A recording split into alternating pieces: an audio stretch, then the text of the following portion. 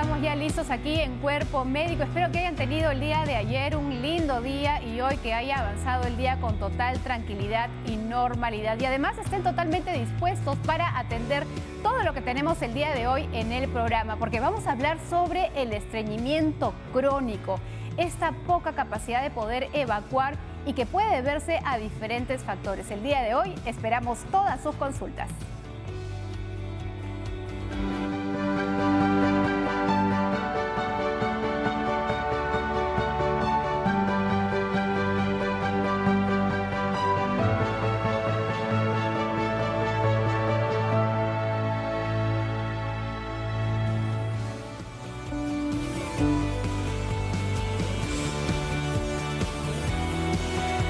Estamos de regreso aquí en Cuerpo Médico y como les decía el día de hoy nuestro tema central es el estreñimiento crónico, un problema que afecta a muchísimas personas, incluso bebés y hoy tendrán la oportunidad de despejar todas sus consultas. Pero no solamente sobre eso, también podrán resolver sus dudas respecto a la COVID. Y eso me da pie para, por favor, invitar a nuestro médico que hoy va a resolver todas sus inquietudes.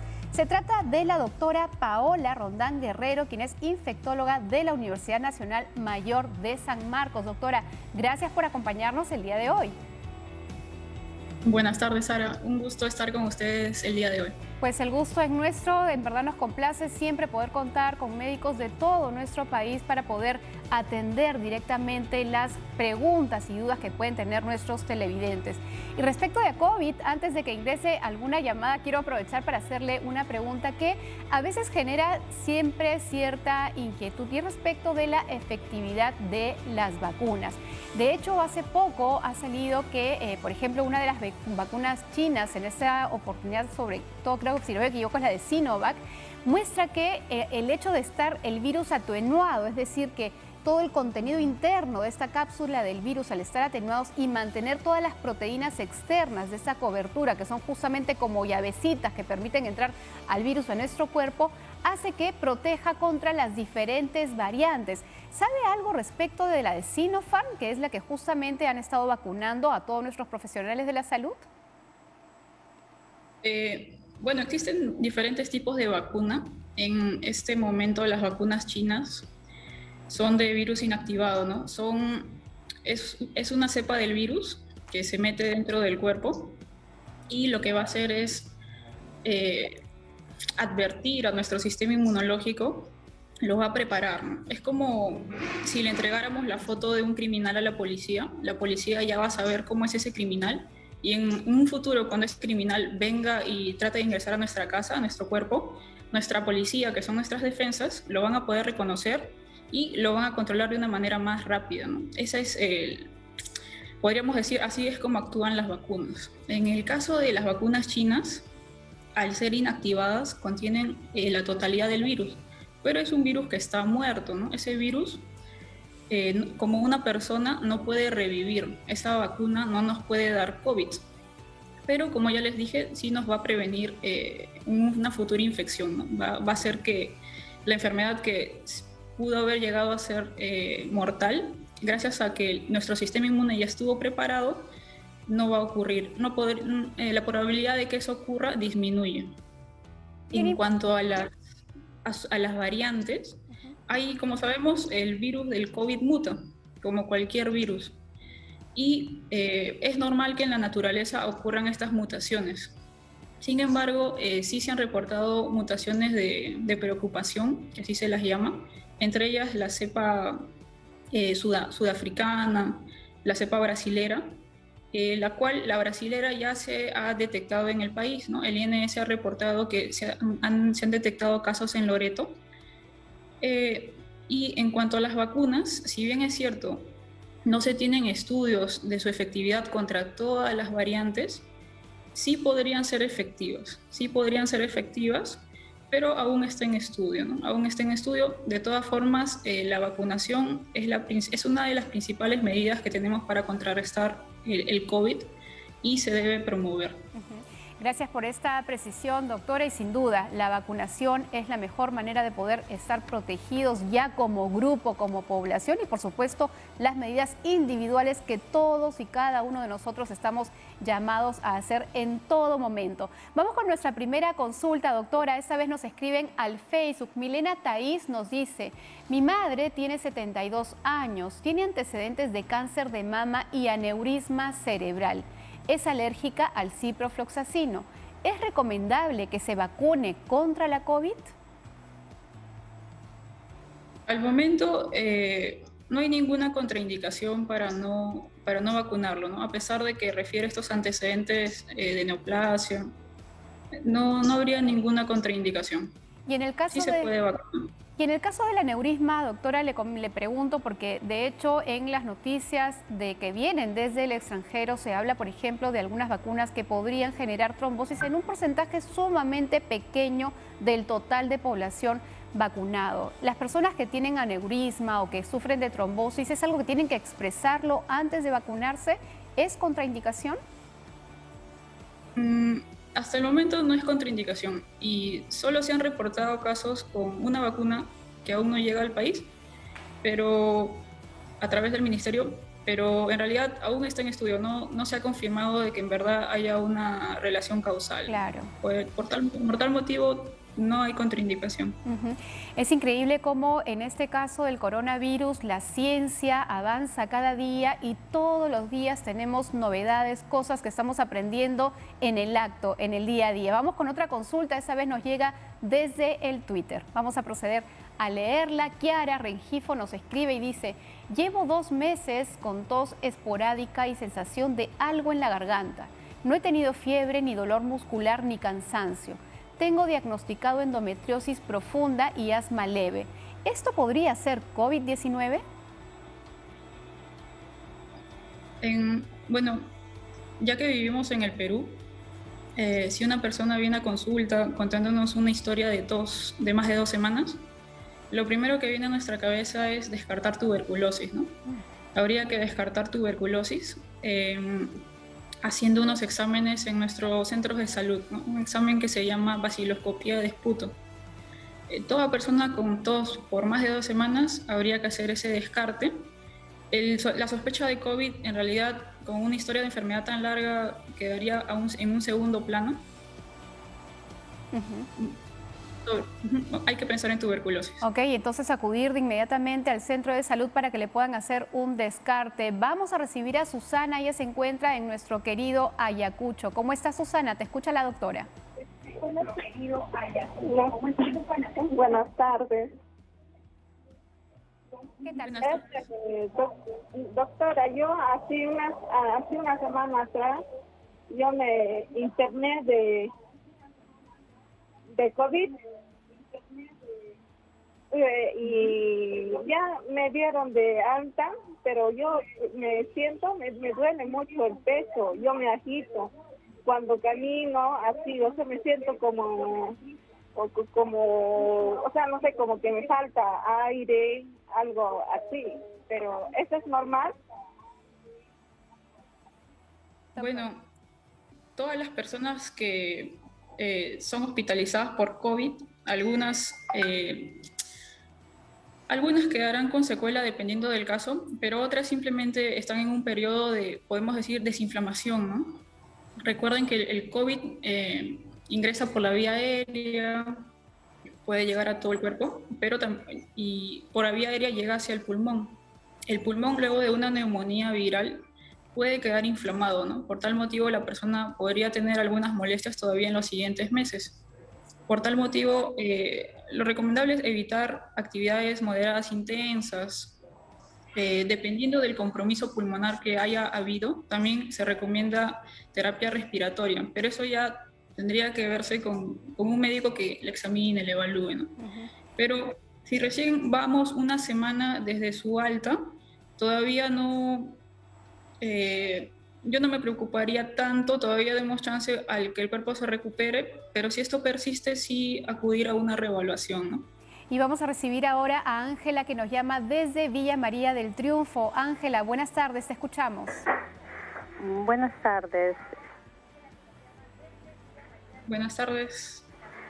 Mm, mi consulta es eh, las personas que, bueno, hemos tenido, hemos sido diagnosticadas con COVID y este, eh, al ser diabéticas, eh, ¿cómo afecta eso? Porque yo la verdad, este, hasta ahora tengo las secuelas, ¿no? Tengo las secuelas de y tengo esa tos horrible, fea, que parece como si te ahogas por momentos, ¿no? Y mi azúcar baja y sube constantemente. Doctora, ¿qué le podemos decir? Mm, bueno, los diabéticos, es, eh, habría que ver cómo estuvo la diabetes antes del diagnóstico, ¿no? Si estuvo controlada o no se pudo controlar. Ahí el manejo va a tener que ser en conjunto con su médico endocrinólogo, eh, ver cómo se está manejando esa diabetes. Y como la pregunta anterior, eh, todavía va a haber un periodo de recuperación, ¿no? El cuerpo tiene que recuperar pero si estas molestias persisten, persisten, eh, de todas maneras habría que evaluarlo en consultorio. Nos queda clarísimo con las palabras de la doctora que todo paciente que ha sido de alta luego de haber sido hospitalizado por COVID necesita un seguimiento más aún si tiene una comorbilidad como por ejemplo la diabetes. Nos vamos hasta San Borja. Aida está en la línea. ¿Cómo estás Aida? Te escuchamos. Buenas tardes. Quisiera consultarle a la doctora si las personas que tienen hepatitis autoinmunes al hígado se pueden vacunar. Doctora, por favor. Eh, hasta el momento no hay contraindicación para las enfermedades autoinmunes. autoinmunes. Eh, cuando se estuvo haciendo los estudios, eh, sí, un criterio de exclusión era enfermedades autoinmunes, pero ahora en la vacunación general que se está llevando a cabo, eh, no hay contraindicación, no hay contraindicación, se puede vacunar. Tranquila, entonces, Aida, puedes vacunarte con total tranquilidad. Vamos a, a San Miguel, ahí está Naida, que tiene una consulta también para la doctora. Te escuchamos. Doctora linda, yo quisiera preguntarle, mire, ve, yo empecé con un dolor de garganta, soy la señora Naida Gamboa, empecé con un dolor de garganta, fui, la, fue al centro de salud y me recetaron cefalixina cada ocho horas y lo este paracetamol. Yo ya estoy tomando esas cosas y ya me ha parado un poquito, pero siento como que yo le cuento que me arde un poquito la garganta y como que a veces me, me agita un poquito. Ahora mi niño, tengo un niño autista que se llama Diego Armando y él está gripado, él está gripado, estoy dándole panol antiripal, no sé si estoy haciendo bien, le está dando panol antiripal, paracetamol, pero él tiene tos y con flema, ya que mi niño no habla, no sé qué darle tiene tosecita, pero también tiene flema en la garganta. Yo no sé cómo ayudarle, qué darle para que pectore. No sabe pectorar. Veo que como que eso que cuando tose le duele y llora porque le da amargura y dolor. No sé qué darle, no sé, tengo miedo que sea COVID. ¿Qué será, señorita? ¿Qué puedo hacer? Entonces, ¿no, no te has hecho ver todavía ni tú ni tu niño? Sí, sí, fuimos a la posta y me dijeron que solamente era viral, un resfrío viral. Nos han dado cefalixina para mí para mí cefalixina y paracetamol y al Diego le han dado solamente dexametasona de 0.5 para desinflamar la garganta y dijeron que también era viral que es paracetamol, pero yo veo que Dieguito se ha levantado tose, camina todo, está estable, pero le molesta la garganta, tose y en su gargantita le escucho goma, agüita, que no lo puede botar y lo regresa. Bien, doctora Rondán, ¿qué le podíamos recomendar? Es una buena pregunta, porque recordemos que el COVID empieza como cualquier eh, resfrío común, ¿no? Cualquier resfrío común eh, va a empezar con síntomas respiratorios, eh, secreción nasal, tos, dolor de cabeza, puede haber fiebre. Entonces, diferenciarlo de estar seguros de que es COVID a veces es difícil. Pero recuerden que el manejo inicial es el mismo, ¿no? De, de todas las de 100 personas que hacen COVID, 80% va a ser este COVID leve y ese COVID leve es como un resfrío común. Recuerden que todos los virus vienen, molestan 7, 10 días y se van. En algunas personas es ese, COVID o esa infección viral sí podría complicarse. ¿Quiénes son estas personas que se complican? Los adultos mayores porque tienen un sistema inmune que, que ha envejecido. Así como nuestra piel envejece, el sistema inmune también envejece. Por eso los adultos mayores son un grupo de riesgo las personas con comorbilidades, hipertensión, diabetes también son un grupo de riesgo y personas con sobrepeso, obesidad también. ¿Por qué? Porque se ha visto que eh, este, este, tejido subcutáneo aumenta la, eh, la, posibilidad de que nos inflamemos más, que el cuerpo genere mayor inflamación y eso empeora el, cuadro de COVID. ¿no? Por eso es que estas personas tienen más riesgo de complicarse. Entonces, ¿cómo, nos podemos, cómo podemos, este, qué es lo que tenemos que hacer si sospechamos que tenemos COVID y lastimosamente vivimos en un lugar donde no hay disponibilidad de pruebas o se nos hace imposible llegar a la ciudad? Tenemos que hacer un monitoreo, un monitoreo diario con eh, nuestros, nuestra, bueno, todos conocemos a estas alturas ya esta máquina, el, el oxímetro. Recuerden que esta máquina lo que mide es la cantidad de oxígeno en sangre, ¿no? Lo normal es de 95% a 100%. 100% es el máximo, no hay más. Entonces, nos vamos a medir este, la saturación todos los días, mañana y noche. Si este número cae menos de 95, o sea, 94, 93, 92, o si la persona, el paciente siente que le falta el aire, eso ya nos dice que el COVID de leve ya se está volviendo moderado. O sea, ahí ya el cuerpo va avisando. Y en ese momento tenemos que ir al hospital. ¿Por qué? Porque lastimosamente hasta ahora no hay ninguna medicina que mate al virus del COVID. Hasta ahora no, no hemos encontrado, no, no existe hasta el momento. Entonces, cuando pasan estas dos situaciones en que el COVID se vuelve moderado, nuestro cuerpo necesita apoyo, necesita oxígeno, antiinflamatorios, antitrombóticos, pero eso ya es manejo de hospital. Entonces, si alguien sospecha que tiene COVID y, no se puede hacer una prueba, eh, tenemos que monitorizarnos para acudir tempranamente a los servicios de salud. No, no esperar una saturación de 89, 88 para recién ir a los hospitales con 94, 93, ya el cuerpo está avisando que tenemos que ir al hospital para que nos evalúen y la posibilidad de hospitalización va a ser alta.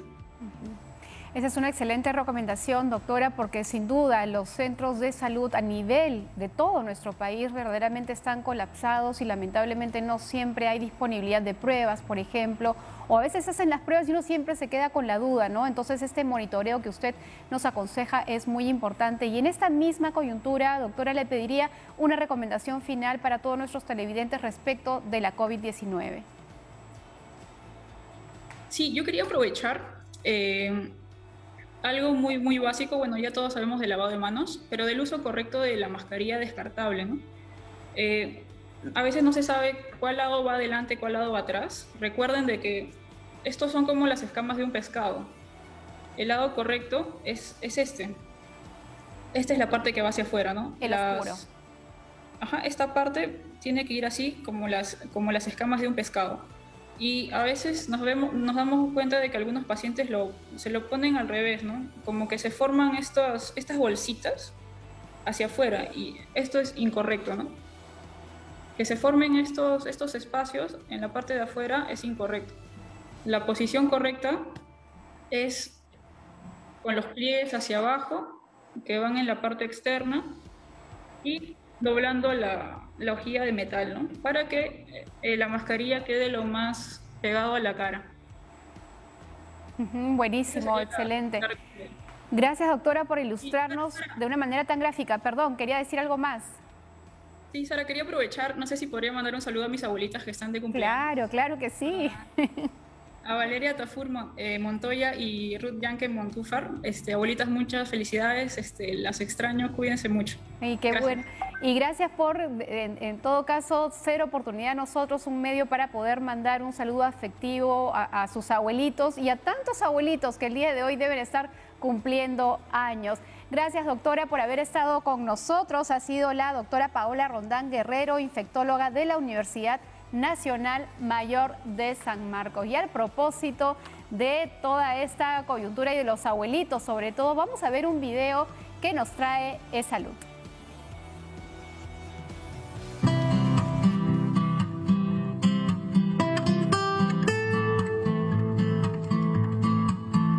No tratamos de hacerlo sentir como si fuera una persona mayor, ¿no? Si él puede hacer algo, que lo haga, ¿no? Obviamente lo supervisamos, pero si quiere hacerlo, que lo haga, no hay problema. Bueno, felices, ¿no? Y tranquilos porque sabemos que lo va a ayudar mucho, va a poder él también estar más tranquilo.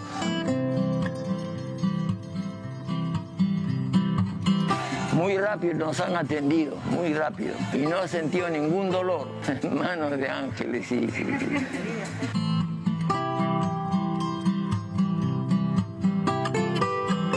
Vacunarse es salud. Bicentenario del Perú, 2021. Gracias a Salud por facilitarnos este video y ver cómo nuestros adultos mayores están teniendo esta atención en diferentes puntos del país para poder ser vacunados. Y como bien nos decía nuestro abuelito aquí en pantalla, con manos de ángel le tocó el día de hoy bueno, o el día de, que tuvo e, esta oportunidad de ser vacunado. Y así, queridos amigos, esperemos todos nuestro turno y mientras tanto, mientras que esto ocurra, tengamos los cuidados, el uso de la mascarilla, el lavado de manos, el distanciamiento social que es sumamente importante. Nosotros podemos ganarle a ese virus. Y bien, ahora sí ya estamos listos para poder empezar el tema central del día de hoy. Vamos a hablar sobre el estreñimiento crónico. ¿Esta molestia es una enfermedad? Esta molestia puede tener complicaciones graves si es que uno no le toma atención. Además, todas las preguntas que ustedes tengan las resolvemos hoy aquí en Cuerpo Médico gracias a nuestros invitados. El día de hoy nos acompaña el doctor Gino Aliaga, quien es gastroenterólogo de la Clínica Centenario Peruano-Japonesa y también del Hospital Nacional 2 de Mayo y también el doctor Carlos Nureña, jefe del Servicio de Gastroenterología del Hospital Nacional 2 de Mayo. Doctores, acompáñennos que vamos a ver desde ya este informe que nos trae nuestra querida Aura sobre estreñimiento crónico.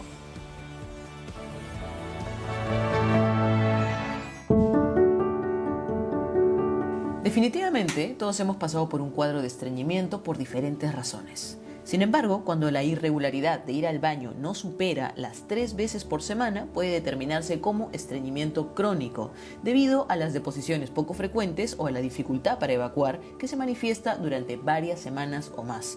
Y aunque el estreñimiento ocasional es muy común, algunas personas experimentan este estreñimiento crónico que puede interferir en su capacidad de realizar sus tareas diarias. El estreñimiento crónico también puede provocar que las personas hagan demasiada fuerza para defecar y esto trae consigo las famosas hemorroides, que si no se atienden a tiempo pueden ser bastante dolorosas. Es importantísimo prestar atención a ciertos síntomas que nos pueden indicar que estamos padeciendo de estreñimiento crónico. Síntomas, por ejemplo, como tener menos de tres evacuaciones por semana, tener las heces grumosas o duras, hacer un gran esfuerzo para tener evacuaciones intestinales y sentir como si hubiera una obstrucción en el recto que impide las evacuaciones intestinales. También sentir como si no pudieras vaciar por completo el recto y necesitar ayuda para hacerlo, como usar las manos para presionarte el abdomen y usar un dedo para quitar las heces del recto. Entonces, el estreñimiento puede considerarse crónico si has tenido dos o más de estos síntomas durante los últimos tres meses. Finalmente, ¿cuándo es importante consultar con el médico? Si se observan cambios persistentes y sin causa aparente en los hábitos intestinales. Asimismo, el tratamiento para el estreñimiento crónico va a depender en parte de la causa que está produciendo el estreñimiento. Es importante mencionar que las obstrucciones en el recto pueden desacelerar o detener el movimiento de las heces y entre algunas de las causas encontramos la fisura anal, obstrucción intestinal o incluso el cáncer de colon, entre otros. Por estas razones es importante prevenir el estreñimiento consumiendo alimentos altos en fibras como lo son las frutas y las verduras, dejando de lado los alimentos procesados e igualmente mantenerse en actividad realizando ejercicio de manera constante ayuda a prevenir el estreñimiento. Beber la cantidad de agua adecuada y evitar los cuadros de estrés que muchas veces es un factor desencadenante para el estreñimiento crónico. Mencionado esto, les recordamos que no pase por alto los chequeos preventivos porque así evitamos poner en riesgo nuestra salud. Y como bien nos presenta el informe, la ingesta de frutas, verduras y agua es parte del tratamiento en realidad y de eso vamos a hablar más adelante en nuestro momento de nutrición, así que no se lo pierda. Mientras tanto, nosotros vamos a atender todas sus consultas, vamos a hablar del estreñimiento crónico, empiecen a marcar nuestros teléfonos porque ya el doctor Carlos Nureña, jefe del servicio de gastroenterología del Hospital Nacional 2 de Mayo, está listo para poderlas resolver. Bienvenido, doctor, y desde ya le paso la primera consulta. En esa oportunidad, Luis nos llama desde San Isidro. Luis, te escuchamos. Doctor, buenas tardes. Sí, señor. Yo creo que se demora mucho este en evacuar.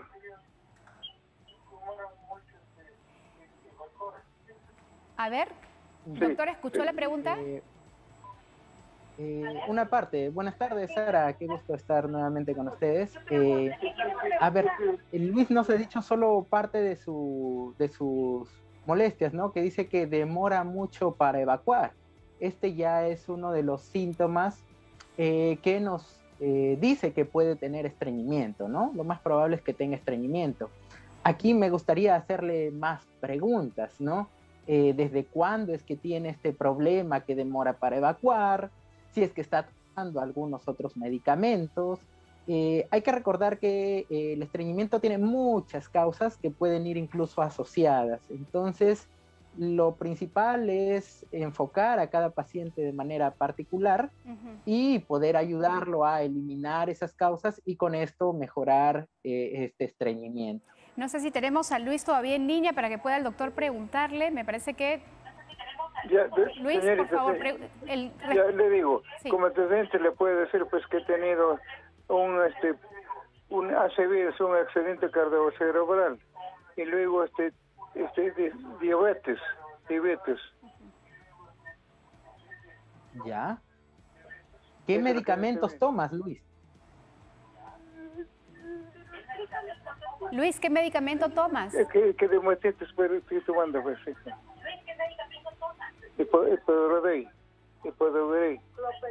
Sí, parece que no se le escucha muy bien al señor Luis. No sé, doctor, si con eso que nos ha dicho hasta el momento puede darle alguna recomendación.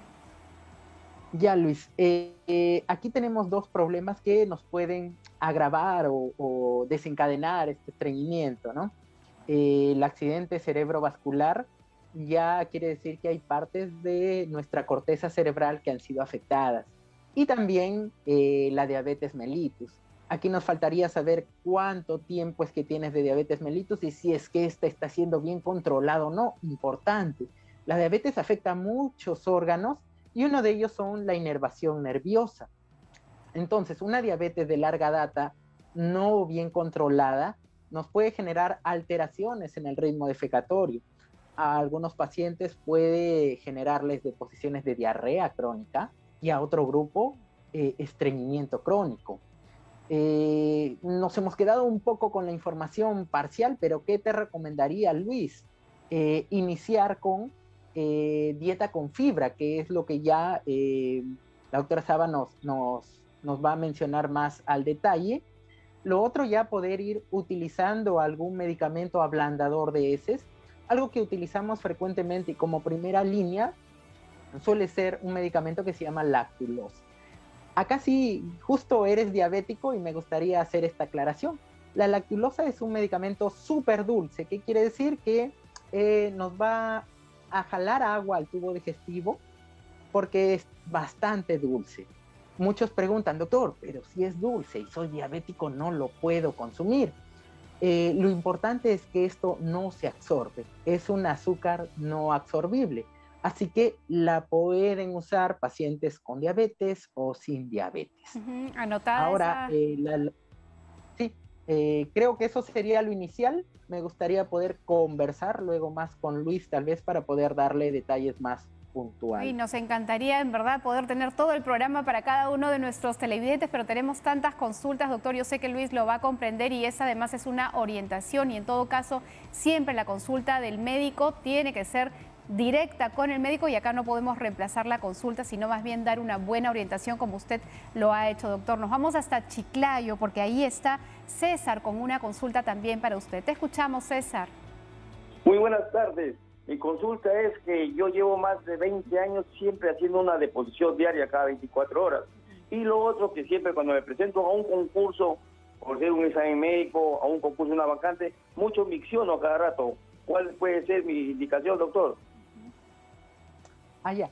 Aquí, eh, bueno, según lo que nos dices, nos estás dando un, una frecuencia defecatoria, se podría decir, en cuanto a ritmo, normal. Ahora, para poder decir eh, estreñimiento, necesitamos saber la consistencia.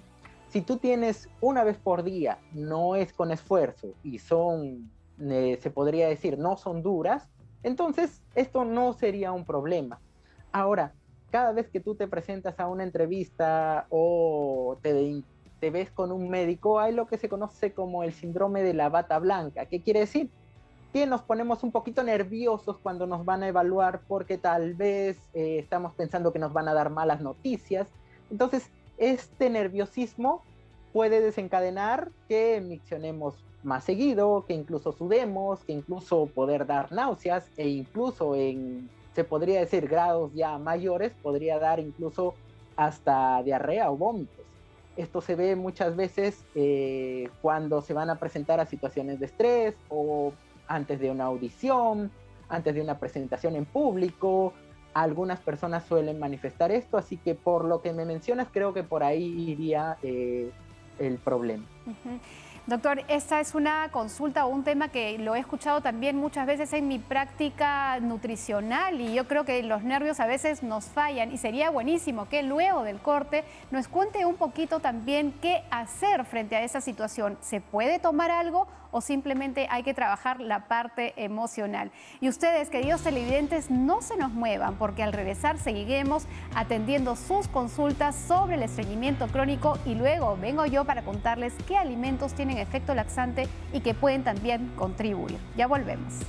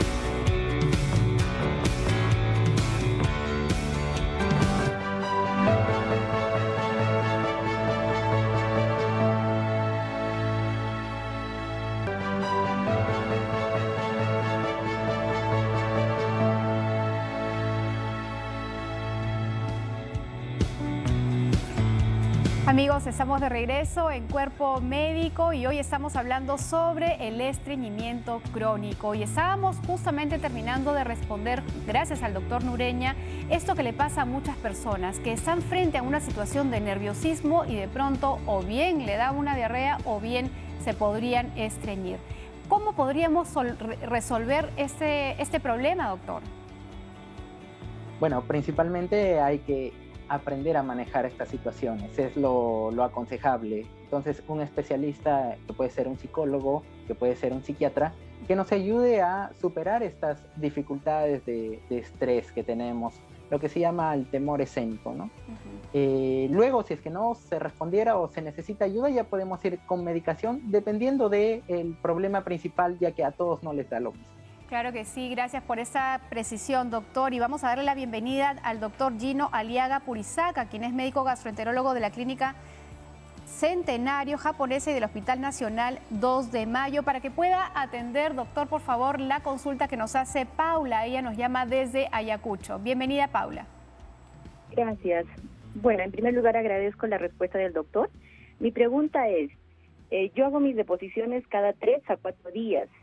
Eh, no sé si eso tiene alguna consecuencia. Bueno, lo que me gusta comer bastante es, el pan, las harinas. No sé si eso es eh, eh, la causa ¿no? de este estreñimiento.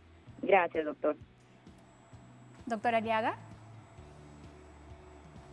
¿Cómo estás, Paula? Buenas tardes.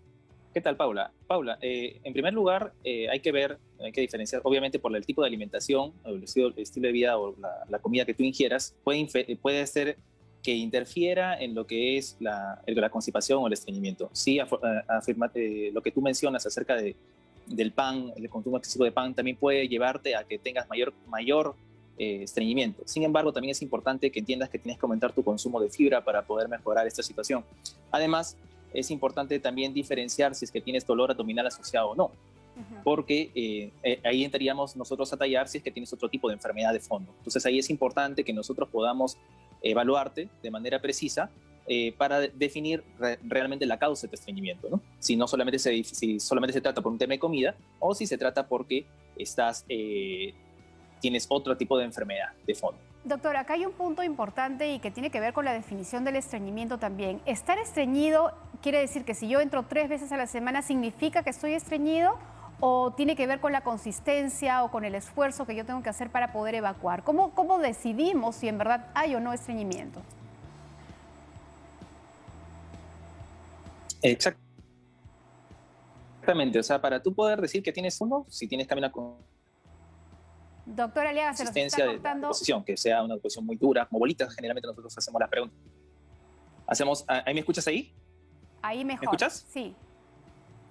Te, sí, te, decía de que básicamente es cuando haces las deposiciones como bolitas, por ejemplo, es una de las preguntas que nosotros hacemos. ¿no? En cambio, la consistencia de la deposición es una.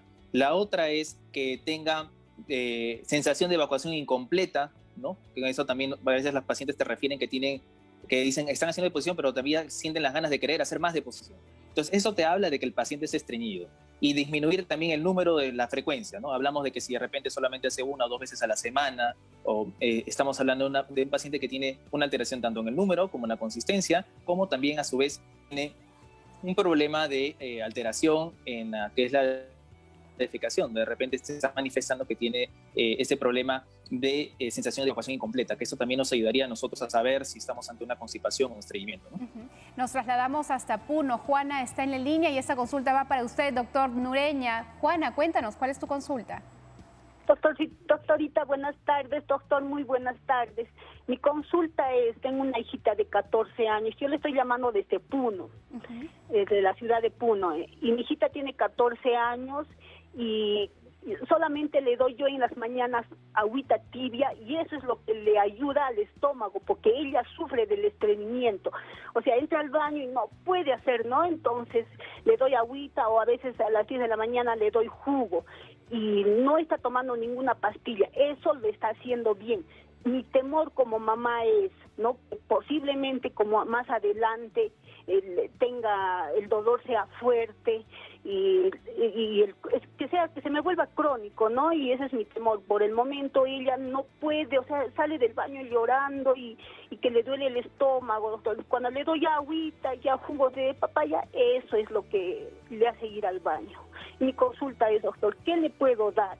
Mm, ¿Pastillas o de repente medicina, este, hierbitas o algo, doctor? Ya.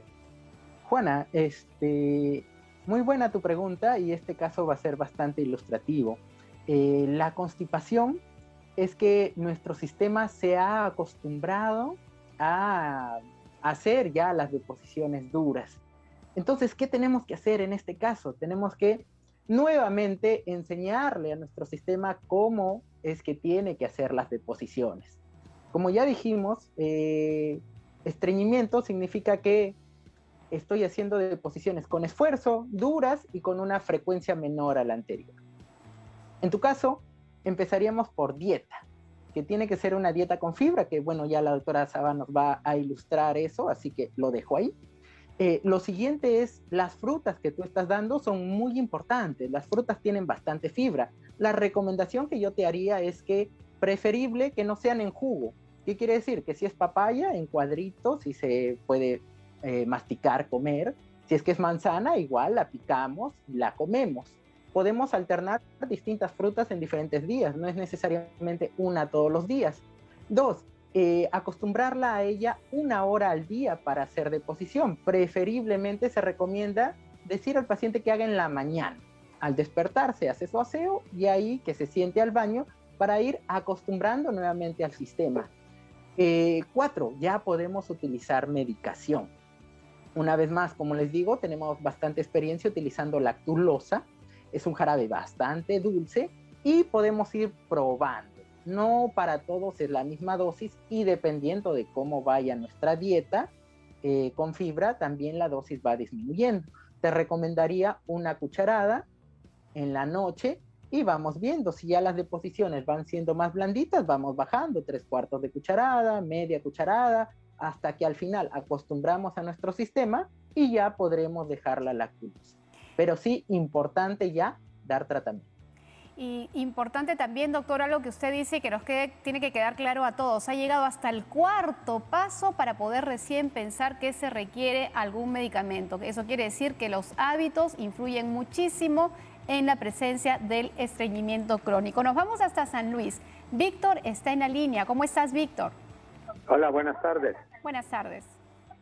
Gracias por el programa. Eh, yo quería preguntar al doctor dos cosas. Una, el té Nelly Clavo es eh, hace daño, estriñe, eh, eso eh, hace daño, o sea, estriñe el té canela clavo. Bien, gracias por la pregunta, doctora Aliaga, ¿qué le podemos decir? en realidad, hay ciertos alimentos que nosotros tenemos que retirar de nuestra dieta, pero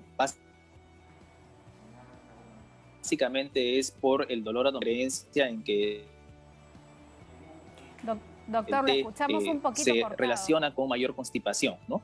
Eh, ¿Me escuchas ahí? Eh, me parece, ¿me están escuchando ahí? Lo escuchamos, sí, ahora ¿Escuchas? sí. Ahora sí. Ya.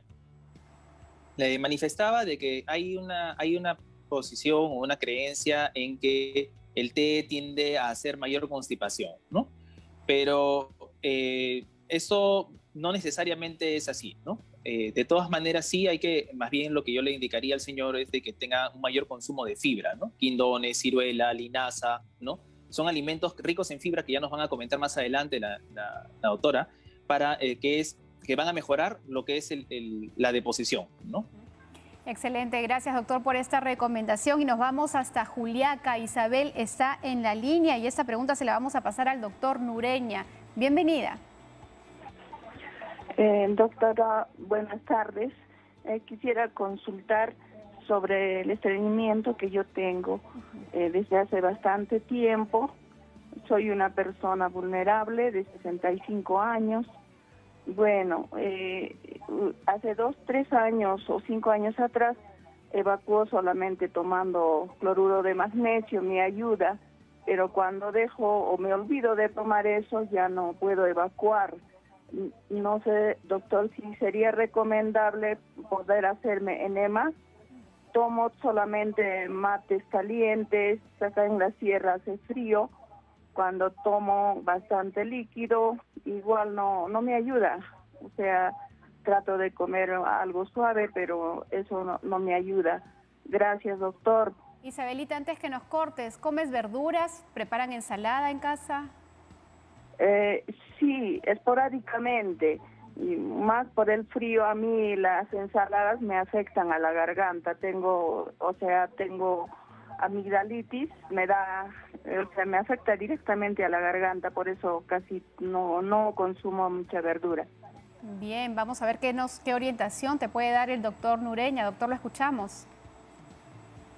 Ya, ya eh, Isabel, mira, eh, puedes consumir igual verduras, pueden ser zancochadas.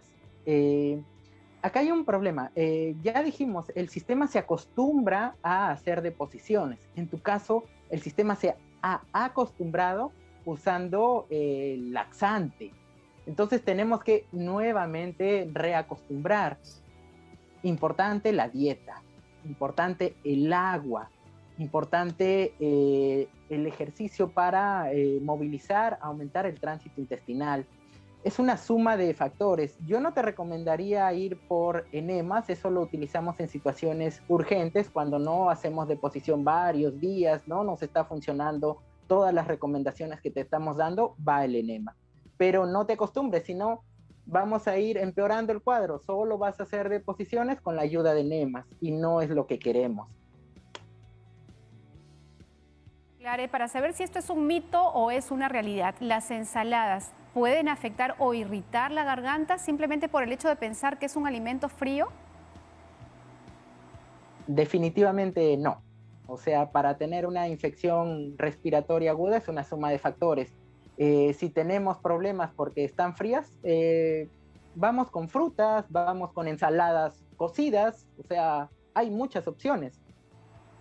Claro, pero en realidad no es que la ensalada, eh, digamos, a temperatura ambiente vaya a generar una irritación en la garganta. Tal vez es una idea de ella. Vamos cerrando justamente ya eh, nuestro tema central. Ha sido muy valiosa todas las preguntas de nuestros televidentes y quisiera pedirle a cada uno de los doctores conclusiones bastante puntuales. Doctor Aliaga, por favor, empezamos con usted.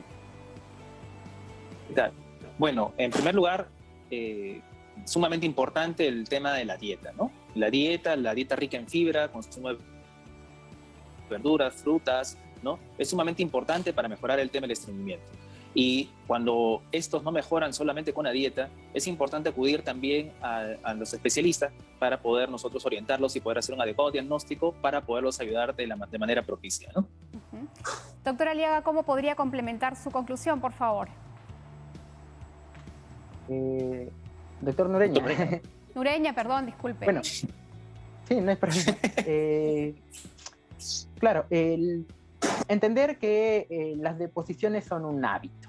Entonces hay que acostumbrar a nuestro cuerpo a tener un buen hábito. Para esto, la dieta que va con fibra, la hora, una hora al día, y ya si fuese necesario, medicación. Y si aún así seguimos con estreñimiento, como dice mi colega y amigo, el doctor Gino Aliaga, ya buscamos un especialista porque hay algo en específico seguro que tenemos que solucionar. excelente, muchísimas gracias por sus conclusiones, recomendaciones y por haber atendido a todos nuestros televidentes. Han estado con nosotros el doctor Carlos Nureña Flores, quien es médico jefe del Servicio Gastroenterología del Hospital Nacional 2 de Mayo y también el doctor Gino Aliaga Purizaca, quien es médico gastroenterólogo de la Clínica Centenario Peruano-Japonesa y también del Hospital Nacional 2 de mayo. Gracias, por supuesto, a todos ustedes, nuestros televidentes, por haber hecho sus consultas, pero ustedes pueden seguir haciéndola porque ya viene nuestro momento de nutrición donde les voy a explicar todo lo que tienen que tener en cuenta para la dieta si es que padecen estreñimiento crónico y sobre todo aquellos alimentos que tienen una mayor capacidad laxante. No se lo pierdan.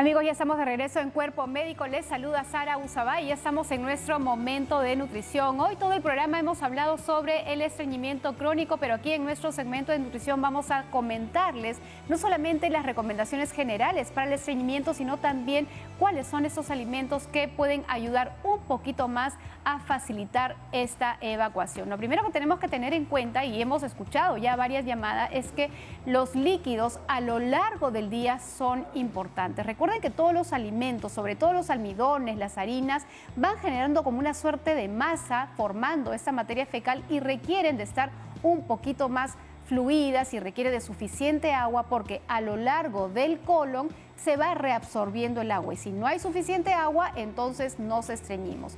6 a 8 vasos de líquido al día, así como ese vasito que le estamos presentando en este momento.